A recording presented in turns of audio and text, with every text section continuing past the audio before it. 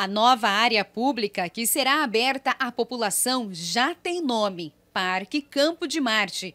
Ela será instalada aqui onde hoje funciona um aeroporto para aviões de pequeno e médio porte e helicópteros. O espaço deve receber também a construção de um museu aeroespacial que levará o nome de Santos Dumont. O parque será o quinto maior dentro da cidade de São Paulo. Agora, o município de São Paulo vai fazer um parque, vai urbanizar uma parte do Campo de Marte. E ao depois, como nós conversamos a, a, antes de chegarmos aqui, haverá novas fases em que eh, outras áreas ainda possam ser utilizadas pelo município de São Paulo, portanto, fazendo um parque maior do que o Ibirapuera, daquele que eu conheci em 1954. Durante o encontro, o prefeito João Dória, presidente Michel Temer e autoridades das Forças Armadas assinaram o protocolo de intenções em que as partes se comprometem a formalizar em 90 dias a transferência de 20% do campo de Marte ao poder municipal.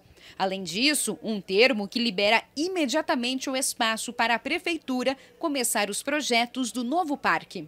Termo de liberação de acesso que permite mesmo antes da assinatura do termo de cessão com encargo, a prefeitura já possa pegar a chave do nosso cadeado, entrar na área, fazer a limpeza, os levantamentos, para que, dentro, da, dentro do cronograma estabelecido pela prefeitura, chegar a bom termo. Né? E aí, em 90 dias, um termo de cessão de uso, o prefeito até já pretende, lá no local, assinar esse termo, já com a colocação do, das pedras fundamentais, tanto do museu quanto do nosso parque. Né?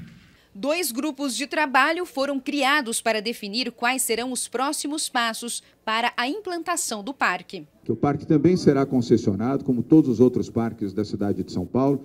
Ele será gerido por uma instituição privada, a ser anunciado oportunamente, e este será o centésimo oitavo parque da cidade. Ministro Jungmann, São Paulo tem hoje 107 parques, Bruna. Esse será o centésimo oitavo, muito em breve teremos o uh, centésimo nono, que será o Parque Augusto. O Campo de Marte foi inaugurado em 1929 e foi o primeiro aeroporto da capital paulista. A área, com quase 2 milhões de metros quadrados, pertencia à administração municipal. Mas foi durante a Revolução Constitucionalista, em 1932, que a prefeitura perdeu terreno que foi incorporado pela União para a Aeronáutica. E em 1945, com o fim do governo Vargas, o Campo de Marte passou a fazer parte de uma longa disputa judicial entre a Prefeitura e a União. Este é apenas o primeiro capítulo de um acordo amistoso entre as partes. Inicialmente, 400 mil metros quadrados foram repassados à Prefeitura. O restante do Campo de Marte ainda pertence à União.